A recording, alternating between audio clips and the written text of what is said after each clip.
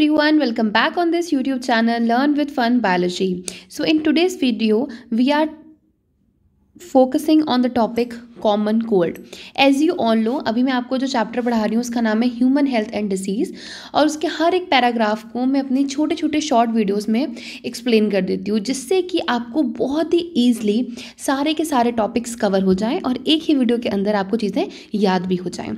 सो so, आज हम बात करने वाले हैं कॉमन कोल्ड के बारे में। सो कॉमन कोल्ड तो आई थिंक सबको हुआ होगा। जितने भी लोग ये वीडियो देख रहे हैं कभी ना कभी आपने कॉमन कोल्ड ज़रूर एक्सपीरियंस किया होगा। सो so, सबसे पहली चीज़ आती है कि कॉमन कोल्ड का पैथोजन क्या है? मतलब किससे होता है common cold so it is caused by a virus यहाँ पर दिया है many viruses also cause disease in human beings like rhino virus जो हमारा कॉमन कोल्ड है ये कौन से वायरस की वजह से होता है? राइनो वायरस की वजह से। Represent one such group of viruses which cause one of the most infectious human ailments that is the common cold. They infect the nose and the respiratory passage but not the lungs तो हमेशा हमें ध्यान रखना है कि common cold कहाँ पर affect नहीं करता है।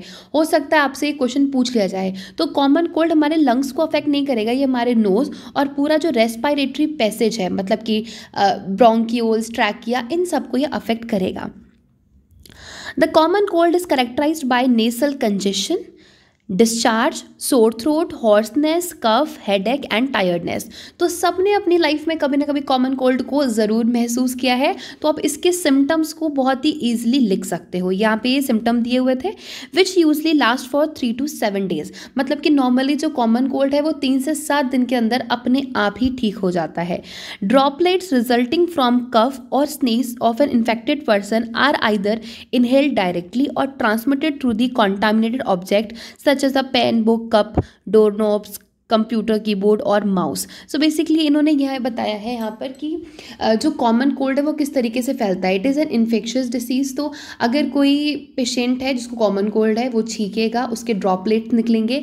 वो ड्रॉपलेट्स निकल के अगर किसी पेन कॉपी या डोर नॉप पे आ जाते हैं और कोई नॉर्मल हेल्दी इंसान जब उसको टच करेगा तो उसको भी कॉमन कोल्ड हो जाने के चांसेस बढ़ जाते हैं।